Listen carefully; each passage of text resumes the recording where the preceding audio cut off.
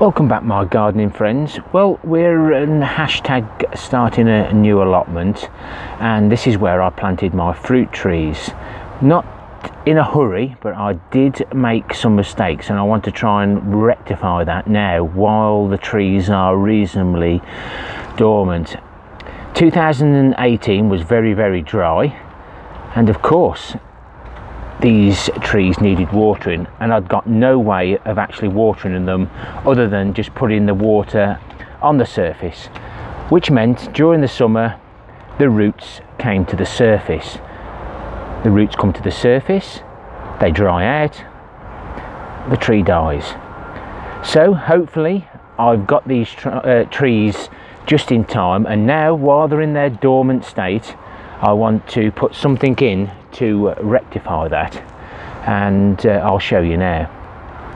So what I should have done was when I planted these trees like commercial growers do they put a pipe down the side for easy access to water.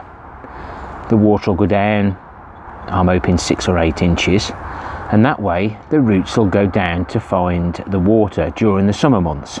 Not too bad at the moment, it's absolutely wet through. But I was thinking, how do I get this in without damaging the roots? So I'm going to choose, uh, I'm going to use my trusty uh, crowbar, the one I make the holes for the parsnips, make a nice big hole and hopefully drop this in. So let's see how that goes. Just uh, get my glove on so I'm going to use the uh, the point first so that should do uh, minimal uh, amount of uh, damage.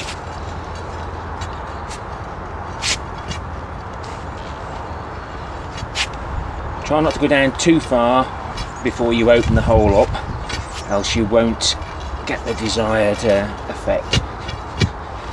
Down to the uh, the hard bit. I'm just going to open that up a bit now and hopefully that will be enough.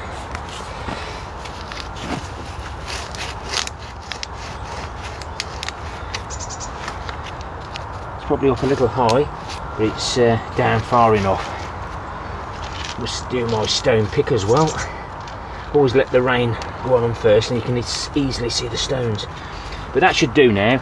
I was hoping to put um, the pipes on both rows on the inside, but all the leaves are still there. Won't hurt. So all I need to do now is get my watering can and during the dry months fill it full of water and that can uh, just slowly seep down into the bottom and hopefully keep the trees alive during the summer.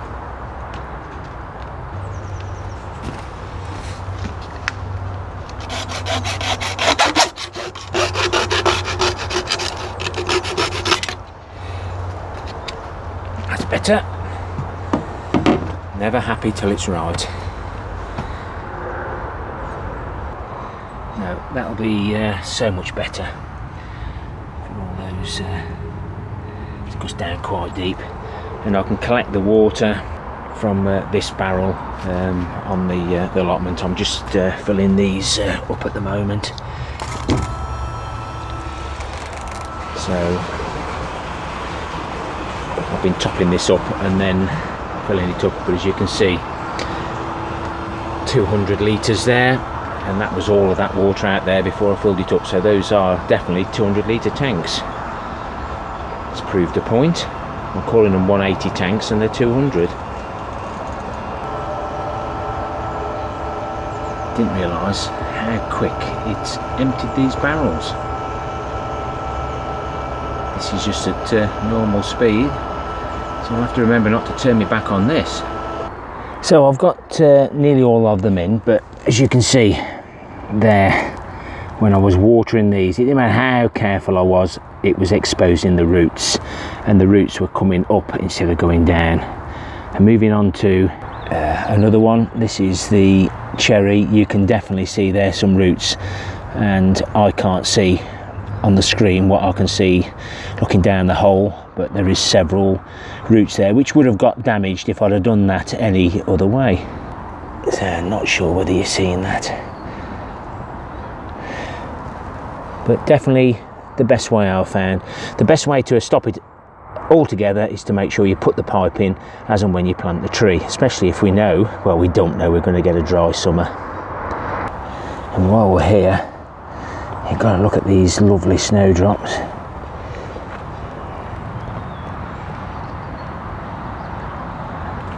Those were sent to me from Nick. That's N-I-C apostrophe S Nick's allotment. But they are giving a really nice show now.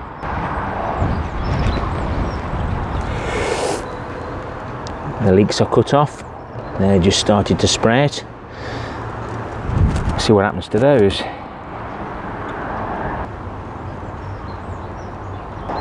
I've forgotten to uh, show some of my viewers uh, this pump that we used on the uh, drought management. Um, everything speaks for itself. And this cost uh, 12 English pounds. And I'm getting some really good use out of it. Can't see any point in paying a lot more but it's a bilge pump something you'd find in a canal boat. Absolutely ideal. A short while back um, there was uh, something going around for the five uh, goals for 2019 and uh, I would like one of the goals to be to uh, continue to grow our garden community, help those young, uh, smaller channels out without, of course, falling foul of uh, any YouTube rules uh, uh, talking about subscriptions. So I'll continue to do that because without other people interacting and sharing we wouldn't be where we are now. Yes, it's another pile of compost. I will also strive to make the best liquid plant foods and compost mixes that I can. I'm very close now. You don't get the quantity, but you do get the quality. And that's what uh, gardening's uh, all about. And another one of my goals will be to continue to show everyone how to reuse, recycle, repurpose things. This was an old litter bin. Cut the top off, welded it to the bottom, hey presto. Costs nothing. And my last one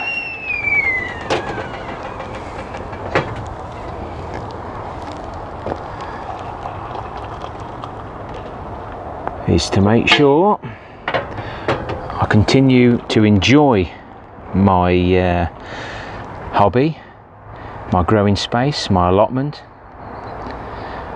It's good for the body and it's good for the mind. I do chill out sometimes guys, you do see me racing around and doing lots but I do have chill out time. Definitely not going to share that with you. Was that chilled out I nearly missed this one. And that's to get nearly all the no dig beds in place by uh, the end of the year come um, January February of 2020 now if I could edit I could have put the one with the cup of coffee after the one with the no dig beds but you get what you see with me guys.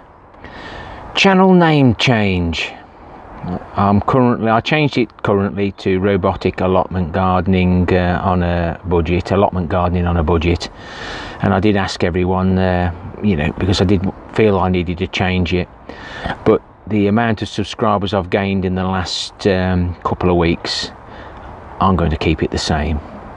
So it's going to be robotic allotment gardening on a budget. I think. oh, I've lost it. Okay, guys, happy gardening to you all. Till next time, my friends. Ta for now.